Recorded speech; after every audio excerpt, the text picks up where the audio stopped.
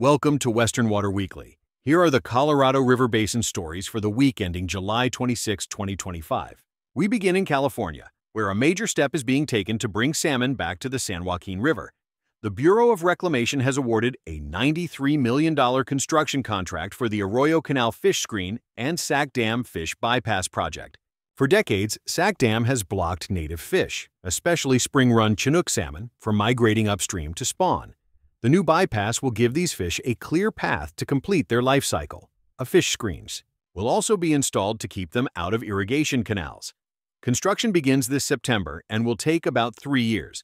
Once complete, this project will help restore salmon populations while keeping water deliveries flowing to farms in the area. A new bill introduced by members of Congress aims to fix a long-standing crisis, the lack of clean water in Native American communities. The Tribal Access to Clean Water Act proposes billions in new funding and expanded support through agencies like the Indian Health Service, the Department of Agriculture, and the Bureau of Reclamation. Right now, nearly half of homes on tribal lands lack access to clean drinking water or basic sanitation. This legislation would help tribes build and manage their own water infrastructure, while cutting through the red tape that's often held projects back. Supporters say this is about public health, tribal sovereignty, and honoring federal responsibilities. The bill now heads to congressional committees, with advocates hoping for bipartisan progress. In a historic move, the Arizona Department of Water Resources has approved its first ever order allowing groundwater to be transported from the Harquahala Basin to the Phoenix metro area. The cities of Buckeye and Queen Creek will be allowed to withdraw water that was set aside more than 30 years ago for future urban use. The new authorization allows up to 11,000 acre-feet of water to be pumped each year, enough to support growth, boost economic development, and diversify the region's water portfolio. The approval drew strong support from city officials, farmers, and state leaders who say it balances conservation, growth, and education funding thanks to potential involvement from the State Land Department. Nebraska has filed suit against Colorado in the United States Supreme Court claiming that Colorado is violating the 1923 South Platte River Compact. The complaint argues that Colorado has deprived Nebraska of its fair share of water and is blocking construction of the Perkins County Canal, a major infrastructure project designed to capture water during the winter season. Nebraska says it has already lost over 1.3 million acre-feet of water and that Colorado's current water practices harm Nebraska farmers and cities.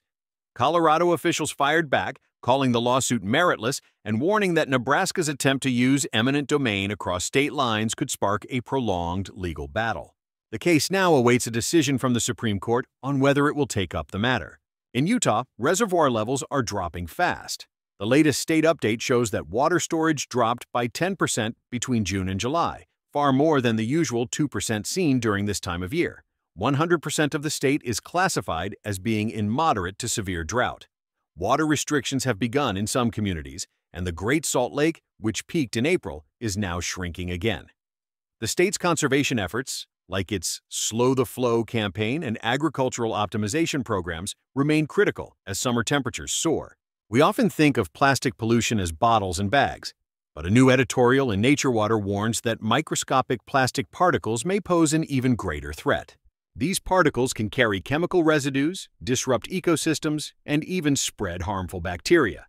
Some scientists believe they are altering the way nutrients move through water systems. As world leaders prepare for the final round of negotiations on a global plastics treaty this August in Geneva, these findings add urgency to efforts to combat plastic pollution worldwide. A new report from NASA and Arizona State University confirms that Arizona is losing groundwater at an alarming pace. Between 2002 and 2024, the state lost nearly 28 million acre-feet, equivalent to the full capacity of Lake Mead.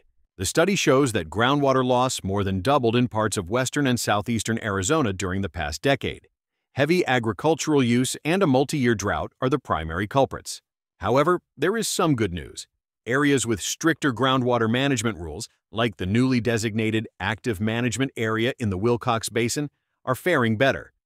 New tools like NASA's OpenET are also helping farmers make smarter irrigation decisions, offering a path toward more sustainable agriculture. This week's United States Drought Monitor report shows a mixed picture. While rainstorms brought relief to the Midwest and parts of the Intermountain West, the Southwest remains dry.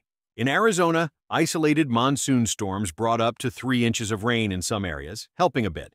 but reservoir levels across the Colorado River system are still critically low. Lake Powell and Lake Mead each sit at just 31% of capacity. Meanwhile, California's major reservoirs are in good shape for now, thanks to a wet winter. But in states like Utah and Wyoming, conditions continue to worsen in some areas. The outlook for the West remains dry, with above normal temperatures expected through the end of July. That's it for this week's Roundup. For more details, full articles, and source links, head over to westernwater.com, where we publish daily updates Monday through Saturday. Thanks for watching and see you next week on Western Water Weekly.